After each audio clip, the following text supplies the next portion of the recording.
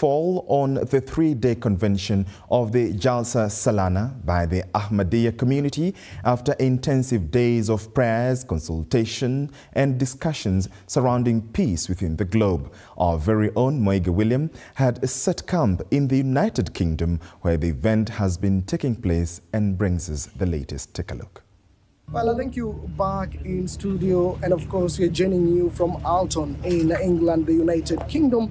We have been pitching tent here for the past three days, covering the Jalsa Salana, the 58th annual convention of this particular event, which brings together the Ahmadiyya community from across uh, the globe. I mean, all flags, every nation is represented here. And TV47 has been boots on ground, bringing you details bit by bit on what has been taking shape here in the United Kingdom. Now, it is it has been three days of this particular event, and today we understand is the last day, three days of the Jalsa Salanam of 2024, and today is the last day. In the first day, we saw the spiritual leader of this community officially opening this event uh, with a significant, uh, that is the, the, raising of the flag of this particular community.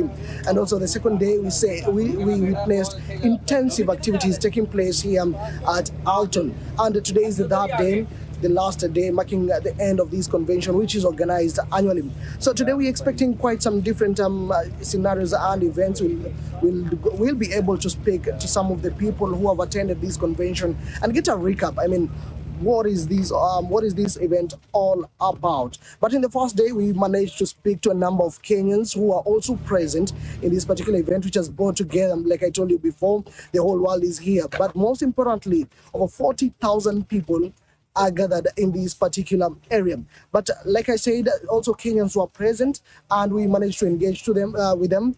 And um, part of uh, what brought them here is to make a prayer. And according to them, the prayer really was heavy on the situation back home.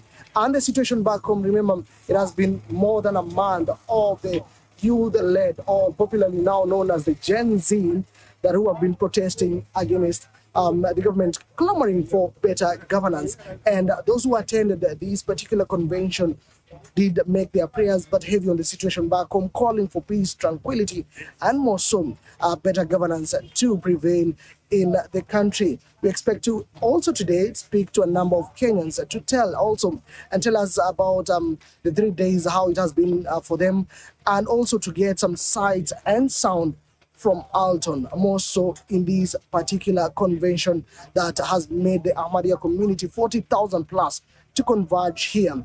And um, just like I mentioned earlier, also, this is an annual event, and TV47 has been at the forefront to bring you up to speed on the details bit by bit, blow by blow, uh, of the happenings here at Alton, more so about the Ahmadiyya community and especially the Jalsa Salana, the 58th edition. So we are ears on ground, boots on, uh, on ground, also our hands all on deck to ensure that you get every information that come out of here, more so that relates to what is taking place here, but that concerns you as a citizen of Kenya. That is all from me. My name is Moige William. Now I take it back to you in studio.